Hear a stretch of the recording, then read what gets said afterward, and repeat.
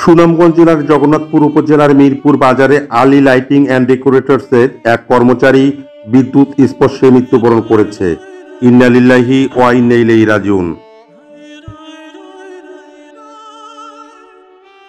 জানা গেছে, দোকানের লাইটিং করার জন্য ছাদে উঠলে বিদ্যুৎ স্পর্শ হয়ে মৃত্যুবরণ করেন ঘটনাস্থলেই। জগন্নাথপুর থানা পুলিশ ঘটনাস্থল থেকে মৃত্যুদেহ উদ্ধার করেছেন।